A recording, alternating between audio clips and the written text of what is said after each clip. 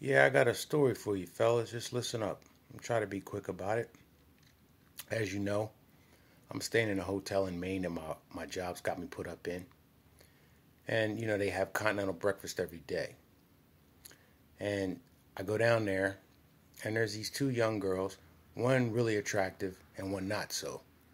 But there's this guy, about 10 years younger than me, 35 years old because I'm, eavesdropping on the conversation. I hear it. You can tell by a guy's mannerisms and what he says to a woman that he's actually interested in him.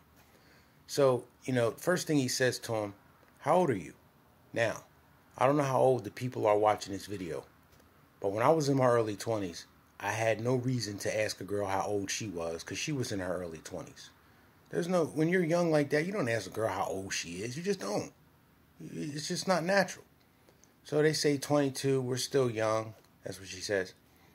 And the guy said, and they say to him, How old are you? Another indicator of a dude who's too old to be talking to these women. How old do you think? Trying to gauge what they think. If they think he looks young, it doesn't matter if these women think you look young, but when they find out your true age, that's it. So I don't know what they said. I couldn't hear that. But he said, No, I'm 35. And when he said that, they immediately put space between them and the guy, meaning they both took steps that were further away from him before he made that statement. So, if he was smart, he would have picked up on that body language and just cut the conversation short. But he goes on tries to talk to them both and says something about, well, do you have a boyfriend? And they say, yeah. Basically, didn't want shit to do with his old ass. Now,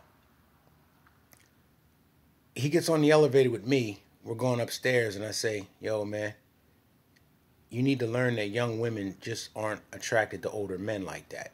Oh, I wasn't. I wasn't gonna try to date him. I, I just, I just, I just. No, motherfucker. Why were you talking to him then? It actually turned into somewhat of a of an argument. Uh, because I said, "Yo, look, man, you're not gonna tell me that bullshit and tell me that you weren't talking to them women to try to fuck them if they was interested in your ass. You're just embarrassed because they don't want you." And he said, Yo, man, why are you talking to me, man? Why you even care about it? I said, Well, because the world, I'm trying to enlighten your stupid ass because if they complain about you, you lose your job, you fucking idiot. And then he said something along the lines of, Well, it's none of your business. And I'm like, You know, it's not. But I'll tell you this, though.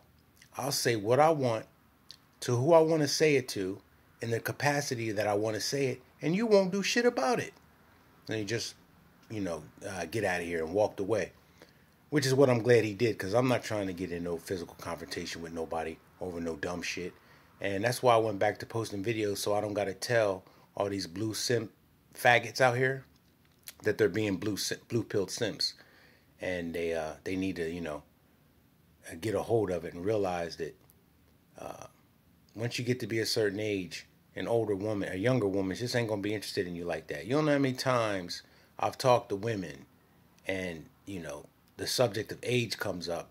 They think I'm 30 years old and I tell them I'm 45. They blush and the conversation takes a nosedive.